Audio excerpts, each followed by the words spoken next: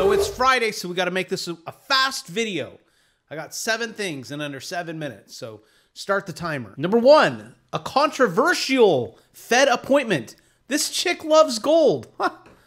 What's she doing over at the Fed? And the dollar, United States of America dollar.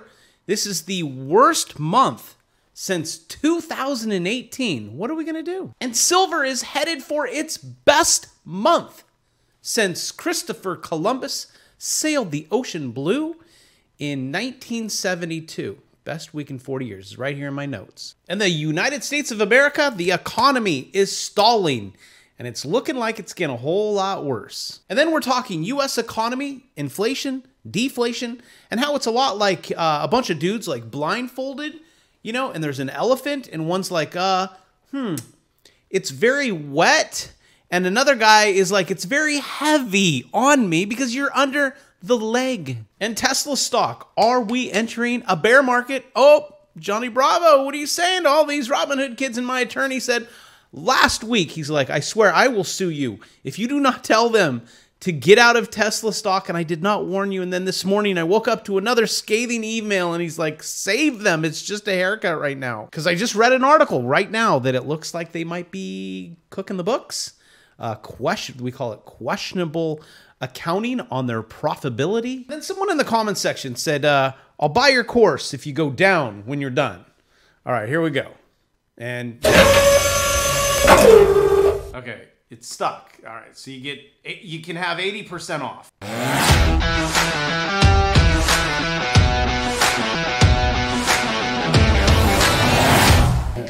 Snack runs.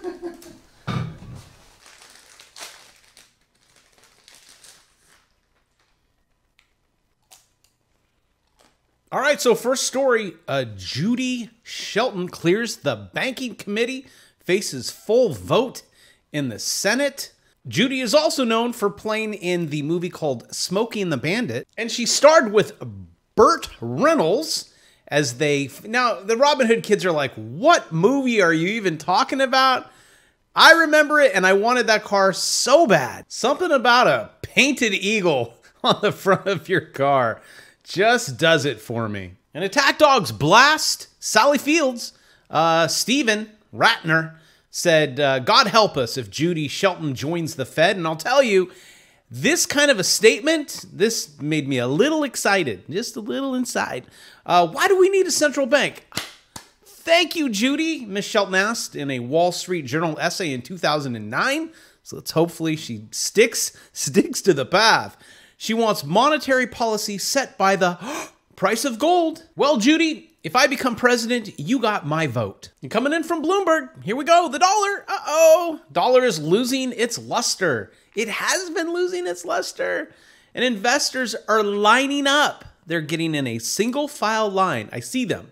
And they're shorting the dollar. And I don't want to beat a dead cat down because we don't know. It might have it may be on its eight life, its nine lives, I don't know. Uh, but you can truly see a trend, right? In the dollar. I did a video yesterday about it, so not going to cover it too much, but we're still moving in that direction and we have a little bit of support left. And when that support goes, bye bye dollar. And then maybe I'll have Peter Schiff back on and Dollar Milkshake Theory Johnson, and they can duel it out on my channel. And look at that dem 10 year USD yield. Look, we're uh, approaching some pretty serious support. I would have to say the dollar is definitely the underdog to gold and silver, which we need to look at silver. I mean, Robinhood kids are like, wait, wait, wait, is this uh is this Tesla stock we're looking at right now? Let's jump on that one. No, that's silver. 22 23 dollars an ounce and I own an ounce of it. It's actually having one of its best weeks since the Hunt brothers. Now Google's gonna or YouTube's gonna go, ooh, you said a bad word. The Hunt brothers uh, cornered the silver market. Yep, that's it. And this one that you see here is gold. Here's the gold contracts. What are we at? Are we almost at? Ooh, we hit 1,900. We gonna we gonna clear 2,000 so Peter Schiff can go. I told you so. And here's something I rarely cover, but I actually do hold is copper futures. Even copper futures is taking a bid. And just in case you wanted to do a comparison contrast, being a business teacher. Oh, I hated that. Remember those Venn diagrams? The two circles in the middle? Unless I am doing this completely wrong, remember? Ugh. Let's do the similarities and the differences. And for some reason, whenever the teacher would draw that, I would only see one thing. One thing only is two eyes just staring right back at me, wanting me to make a decision. And then this is gold. Gold versus dollar.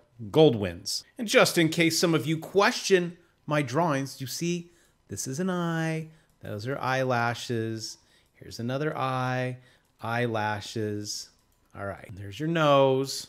And also, really quick, a stunning event. Silver pulls ahead of gold. What?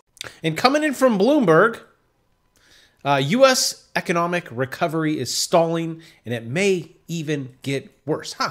Go figure. And something that you didn't know is my camera just died. like you're like, oh, we're just going along. Nope, I just spent uh, a very long time reinstalling and installing a uh, a Logitech camera. What a nightmare! And I'm thinking, I'm too big in this bottom corner. I need to make myself smaller, like you know most guys would say. You see, that's my problem. I'm I'm too big. Okay, there we go. There, haha. It's better, Johnny Bravo. Much better. All right, so back to the news. Uh, I don't know what they're saying about economy stalling. I could clearly see at least. What do you guys see here? Um, one, two, three, uh, maybe six cars on the road. So I think you guys are lying. But if we scroll all the way down here, oh, better than expected, right? That's the government. Scrolling all the way down here, let's do some politics. Here it is. Democrats have pro- proposed 3.5 trillion. Good job, Democrats. And then you you Republicans, you only want to do 1 trillion. Wait, okay. Do you want to get reelected or not? Just give the kids the UBI. Stop fighting. There's nothing you could do. The Titanic has hit the iceberg. It is split in half. Both sides are going down.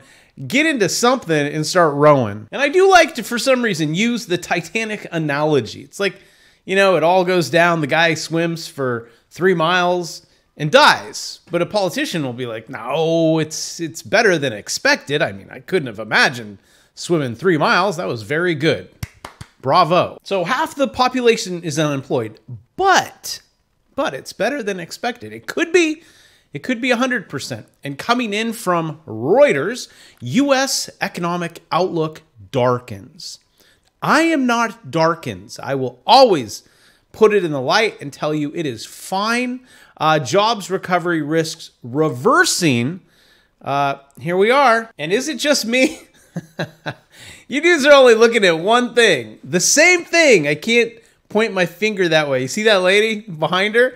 Let's see what this says. A shopper wearing a protective mask tries on clothes at a retail store following the outbreak of the blank blank in New York. No, that's not what is happening. I'll be very clear with this photo. And I once again, I zoomed in 500%. This is as big as I can get it. Now I have to Photoshop. Okay, just for you, I did it. Here we go. All right, can you see those eyes? Oh, can I move that up? Those eyes right there. You know exactly where she's looking. And she says, that booty should be outlawed. I know what she's thinking. You need to put a mask on that. And remember, I was telling you guys about inflation and deflation. It's a lot like an elephant. You know, you blindfold people, and they're like, "Well, it's uh, it's wet over here," and then on this side, it's like, "Oh, it smells really bad," and over here, it's fine. It doesn't. And then another guy's like getting stepped on. It's really heavy. So my analogy with inflation and deflation, it just depends on what part of the elephant that you're on. If you own assets. Well, you know what? When the Fed prints, burr, uh, those digits need to go somewhere. That energy, you don't get rid of it. It needs to just go somewhere. So that's why I talk about the stocks. And when I also say, don't ever listen to anything that I say, it's not financial advice. It can't be. Do not take any word out of this stupid mouth. Stocks, bonds, real estate, gold, silver, these digits need to move somewhere and they're moving into assets. So we're going to have inflation and deflation.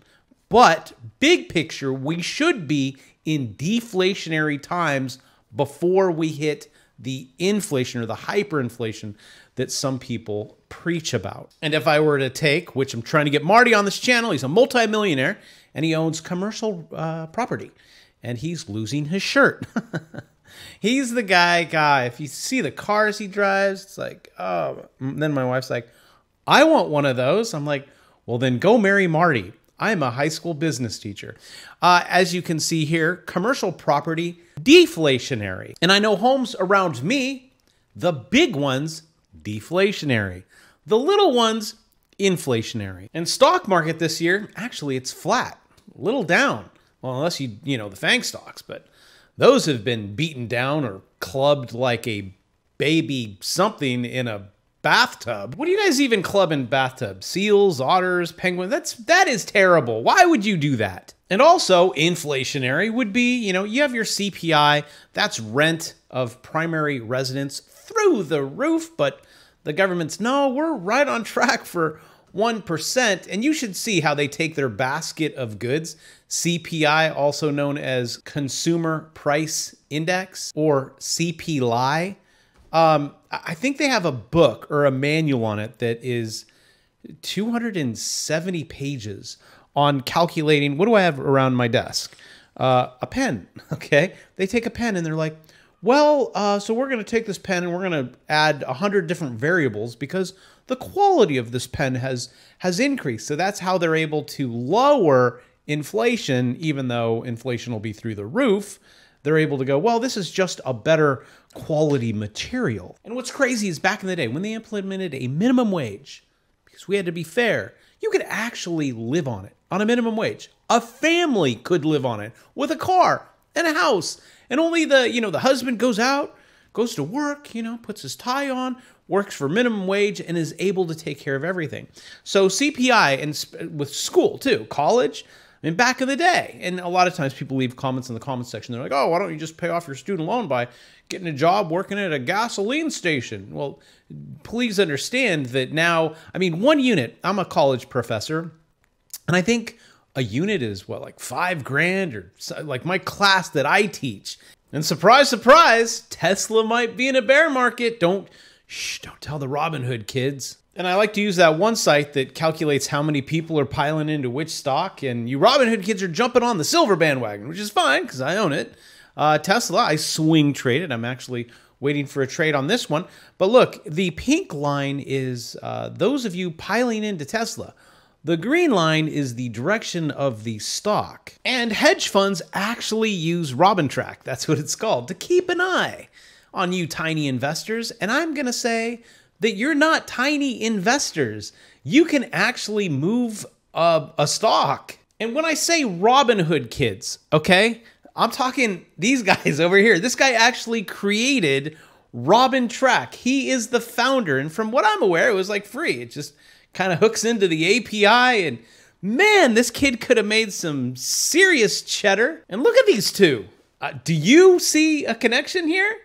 I think I do. Uh, so hey, brother, when when she gives you that smile, no, you don't turn away, man. You look at her directly in the eyes with confidence and you go buy yourself some Apple earbuds because this is not working. And I know this is crazy, but I swear this kid's like frozen. Like, what? Huh? Look, dude, she's smiling at you. Look at this. Yes, yes, your number. Give her your number. But like what I said earlier, about Tesla may be using questionable accounting policies to show profitability. And just a summary of this story, I I don't usually put too much of my egg into the basket when they say uh, beyond the hype, uh, members private group get started today, but I get it. Uh, questionable accounting practices, muddled uh, previously outstanding accounts, we do not find Tesla's financials to be believable. And all I have to say is sometimes where there is fumes, there is smoke. smokas, there might be fire. Or all you have to do is just head on over to their website, a buck 49. You get solar roofs. Okay. The only problem is is you just don't, right? Not everything that Elon says comes true nor is true. But I have to be careful with speaking about Elon or Tesla because my audience is big Tesla fans. They're like, that is our God. Do not use his name in vain. But what I would recommend, and I can't recommend anything, dang it. I'm going to come over here and take a look at Tesla and see what it's doing. I actually, for the video today, because as you know, I have a course on all of this stuff, and I did one on, I purchased Netflix. It's in the course, so link in the description if you want 800 bucks off. Those codes go fast. The guy yesterday, you guys are like, they went in within 10 minutes? All right. I'll, I'll up it a little bit. I'm going to make sure that you guys are, if, if you're turning that bell notification on, I think 15, 20 minutes, that should be good. But let's take a look. Oh, by the way, the, the Netflix, it, it was a kind of, I was like, I was really iffy, but I think I've, uh, I squeaked out about a one and a half percent on that today. So the question will be, what will my wife uh, use that money for? And like what I said earlier, or did I, or did I do it in the Facebook group? Everyone was like, "What's Tesla gonna do?" I was lifting with my friend, and he's like, he got in. I'm like, "Bro, do you know your, do you know why you're entering, and do you know when you're exiting?" He's like, "I don't know, man. It's just, it's gonna go up." I'm like, "Okay, that's that's a really good entry because it's gonna go up." Uh, looking at Tesla, I like I said, it's gonna pop after the earnings call. This was your earnings. It popped and then it comes down. A lot of people were saying the same exact thing. And here we go. We gapped. Did we gap on that one? The 23rd to the 24th. And we are on the way down. I do like these elevating factors. See your 200 right there. That's a go for me. So as long as we are above that line, uh, I'm going to wait for the swing up. One candle close on above that, uh, my nine. It is my nine. Uh, then I put in a buy. Just make sure you don't put in a buy because this cannot be financial advice. Dang it, you Robinhood kids. And if you were to plug in my the accurate swing trading system, um, ah, yeah, it's telling you don't put in a buy. I told, and I told you in the course, I'm like, this is not a typical buy. Um, I don't like the movement on the way down. Also, if I were to change my candles, because new traders, I think Heikin Ashi would help you because it, it gives you like, oh, okay, I see it, rather than just like a bunch of googly gawk but whatevs, I made a percent and some change, whatever. Call it a day. That's what I do. I just take my beans right off the table. Oh, oh, we got some more. You know, you win some, you lose some. You just you just want to win a little bit more than you lose. And tomorrow I got a special guest, Anthony uh, Pompliano, uh, Pomp. He will be on tomorrow. So make sure you turn your bell notification on that one. That's probably going to come out in the morning. So enjoy it, and I will see you tomorrow, and then I will see you Sunday, Monday, Tuesday, Wednesday, Thursday, Friday. And you made it to the very end. What the heck? Subscribe, my friend, and I'll see you tomorrow.